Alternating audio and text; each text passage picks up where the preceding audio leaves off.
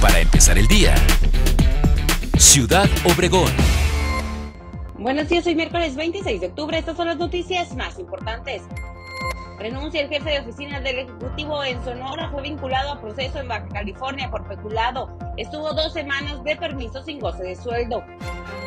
Sale a la luz pública una fotografía del alcalde de Navojoa con andadera para poder caminar. Los regidores desconocen su estado de salud, pero aseguran que solo va a la mitad de la semana a trabajar. Venezolanos serán empleados en Sonora, así lo dio a conocer el gobernador del estado. Se trata de aquellos que han sido repatriados y deseen quedarse en el estado. El resto serán trasladados a su país de origen. En Cocorit adornan el pueblo con Catrinas en alusión al Día de Muertos. Sin embargo, denuncian organizadores que los mamantes del ojeno han decidido robarse los adornos.